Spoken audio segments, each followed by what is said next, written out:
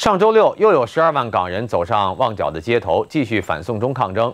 晚间，香港多地出现了警民冲突，港警在港铁黄大仙站抓捕示威者，激怒了当地居民，大批市民冲出家门，一度将警察围住，逼回了当地的警署。但随后呢，群众遭到警方的暴力攻击。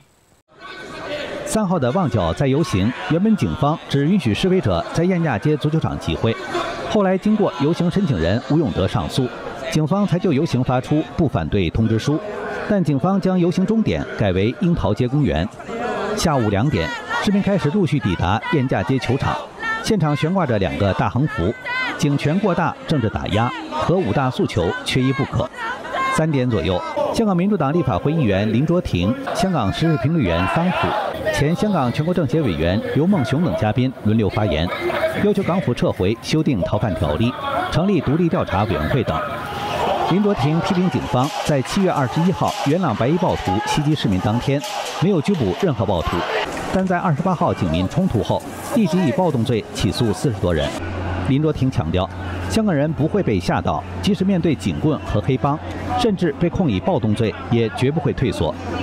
香港人现在呢是非常的不高兴啊，尤其是很多年轻人呢，觉得是没有前途，看前面。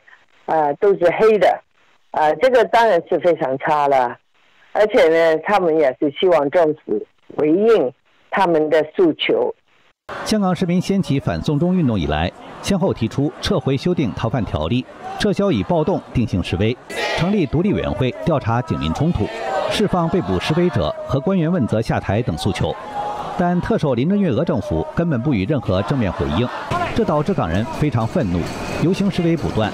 反送中抗争遍地开花。二号，很少公开发声的香港公务员团体甚至也走上街头，四万人在遮打花园集会，声援反送中。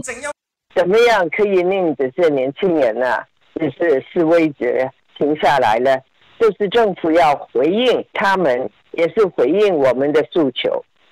三号的旺角在游行，大约有十二万人参加。下午五点四十五分左右，游行队伍陆续到达终点樱桃街公园。主办方宣布游行结束。大约同一时间，在尖沙咀码头，有人将中共的五星旗降下，抛入海中。对此，网友评论说：“这反映了港人的人心向背，以及港人反对共产党流氓政权殖民香港的意志和决心。”现在这个香港所以不好，就是因为国内的插手香港的事务从来没有停止过。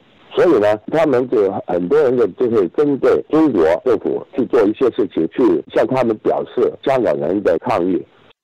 晚八点左右，一些示威者聚集到尖沙咀警署外，将警署牌子喷上“警黑勾结”“黑社会”等字眼。随后，尖沙咀弥敦道、舒适巴厘道一带也聚集了大约上千示威者。九点五分，警方开始在尖沙咀警署等处多次释放催泪弹，驱散并抓捕示威者。但示威者不断再次集结，与警方持续对峙。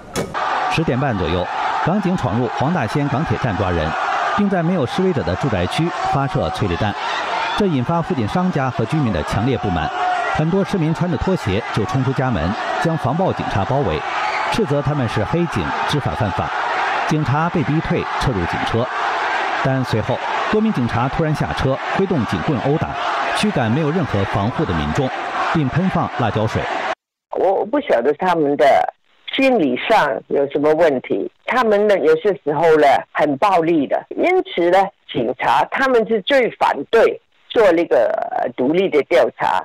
但是警察他们要了解了，如果他们这样做下去，他们是完全了失掉了香港人的信心、香港人的支持，这个是非常悲哀的。午夜过后，愤怒的市民和示威者包围了黄大仙警署，对峙一度升温。随后，上百防暴警察冲出警署，释放催泪弹，进行了强行清场。